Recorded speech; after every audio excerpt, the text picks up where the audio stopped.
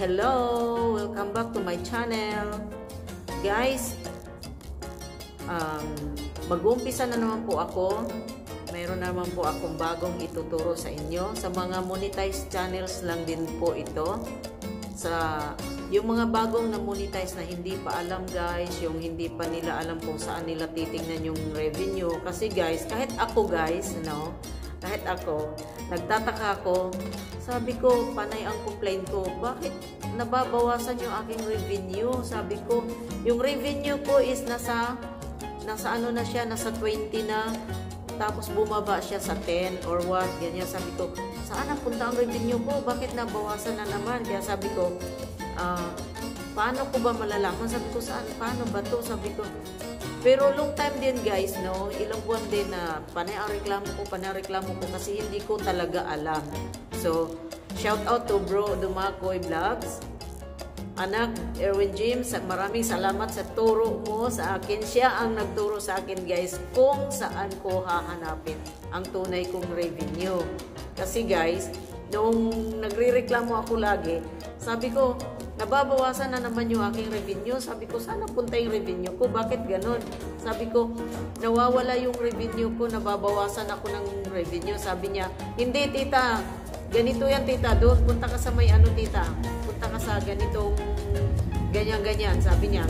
Tapos tita, dito ganyan, i-click mo si ganito, si ganyan, si ganyan. So, nung, nung naano ko yon ah, sabi ko, pinuntahan ko, sinunod ko yung itinuro niya sa akin. Ito na guys, na, nakita ko yung aking revenue guys. Hindi nawawala guys, nandiyan dyan lang. no? So, salamat kay bro Dumakoy Vlogs. Shout out sa iyo anak, Erwin James. Maraming maraming salamat at ito ginawa ko ng tutorial. Itinuturo ko sa ibang mga hindi pa alam kung nasaan talaga yung ating revenue na punta. So guys, ngayon alam na natin kung saan natin pupuntahan yung ating revenue para makita natin talaga kung ilan na talaga yung ating revenue. Okay guys? So, noon, panay ang reklamo ko hanggang sa nalaman ko na, ah, okay, andi dito. So, maraming maraming salamat kay Bro Dumakoy. Shout out sa iyo anak, Bro Dumakoy Vlog, na tinuruan niya ako. So ngayon, gagawin ko siyang tutorial para sa mga hindi pa nakakaalam kung saan talaga natin makikita yung ating revenue. So, thanks God, hindi nababawasan. Makikita natin, nakakatawa. Natatawa ako sa sarili ko kasi panay ang reklamo ko, reklamo ko na reklamo. Ano ba to? Bakit ganyan? Bakit? So, guys, ngayon, makikita na natin kung saan ang ating revenue. Okay guys, tara samahan nyo ko, ituturo ko sa inyo para makikita nyo kung saan talaga. Pero, don't forget guys to subscribe my channel at huwag ninyong i-skip yung aking ads. Parang tulong nyo na rin yan sa akin guys. Maraming maraming salamat huwag ninyong i-skip ang ads ko guys, okay? Star Between APP, my channel. Tara guys! So guys, heto na, nandito na tayo guys. So, paano natin malalaman kung ilan na ang ating revenue guys? At saan natin makikita? Dito guys, mag-install muna kayo ng YT Studio guys. So, ayan, nakita nyo yan guys, yung YT Studio. Ayan guys, YT Studio. Mag-install kayo niyan guys kung wala pa kayo niyan. Pero I'm sure mayroon na ang mga monetized channel, mayroon na yan.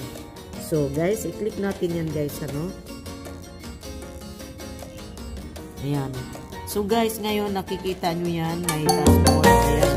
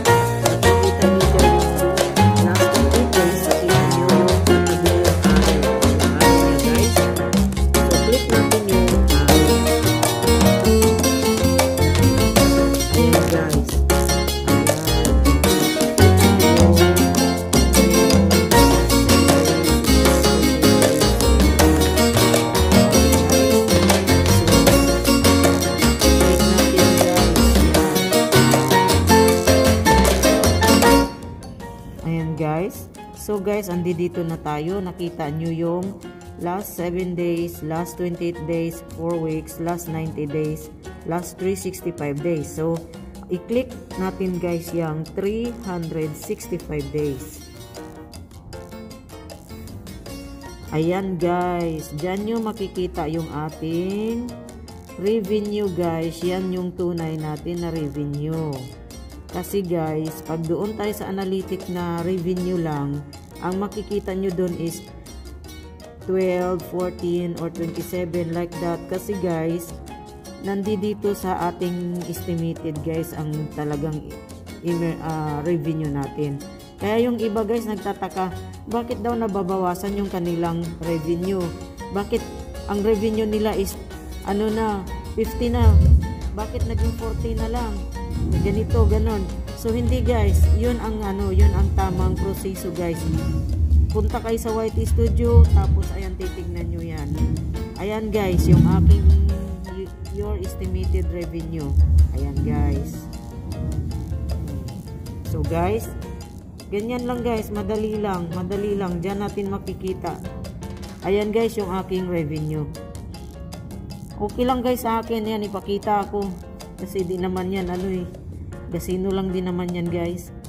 Basta wag nyo lang guys, i-skip ang aking ads guys. Parang tulong nyo na rin sa akin guys. Ano? So, ayan siya guys. Okay?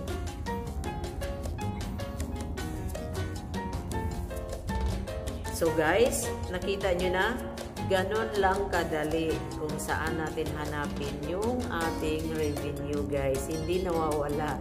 So guys, ngayon, alam nyo na kung saan pupunta, saan, saan nyo hanapin. Ganun lang guys, maganda lang kayo ng mag-install lang kayo ng YT Studio, yung pinakita ko kanina. At uh, YT Studio. Tapos puntahan nyo lang doon sa revenue. Click nyo lang yon Yun na guys. So now guys, kita nyo na, hindi nawawala yung ating revenue. Diba? So, see you again guys. Maraming salamat. Thank you for watching. Don't forget to subscribe, like, and share.